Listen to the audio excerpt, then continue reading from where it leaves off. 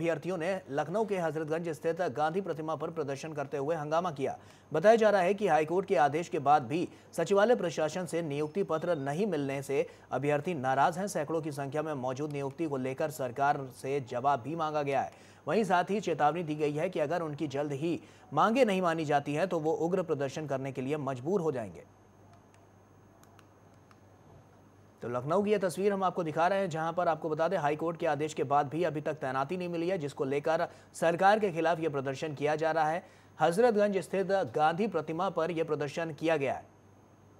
और इसी पर ज़्यादा जानकारी के लिए हमारे संवाददाता कुलदीप हमारे साथ फोनलाइन पर जुड़ गए कुलदीप, आपसे जानना चाहूँगा, जब हाईकोर्ट ने इस बात को लेकर चयन कर दिया था, साफ़ कर दिया था, उसके बाद सरकार क्यों उसमें कोताही बरत रही आखिर क्यों नहीं काम कर सरकार? जी बिल्कुल मैं बता दूँ कि जिस तरीके से लोग द्वारा परीक्षा में चयनित होकर 2010 2010 की परीक्षा में वो चयनित हो गए थे, जिसकी नियुक्ति पत्र की मांग को लेकर आज जीपीओ पर प्रदर्शन किया उन लोगों ने। उसका उनका सरकार से सीधे तरीके से मांग है कि उन लोग को नियुक्ति पत्र दिया जाए। जबकि कोर्ट ने भी आदेश दे दिया, उसके बावजूद इसके भी उन लोग को नियुक्ति पत्र नहीं दिया जा रहा। तो साफ़ तौर पर उन लोग का ये कहना है कि आखिर क्या कारण है कि किस वजह से हम लोग को नियुक्ति पत्र नहीं दिया जा रहा है? इस पूरे मसले पर लेकर आज के, क्यों, क्या है, कैसे? तो हम लोग को नहीं दिया जा रहा जिसको लेकर उन लोगों ने प्रदर्शन किया। सरकार वैसे तो हर बात पर अपनी प्रतिक्रिया देती है लेकिन क्या इस बात को लेकर अभी तक कोई प्रतिक्रिया सामने आई है?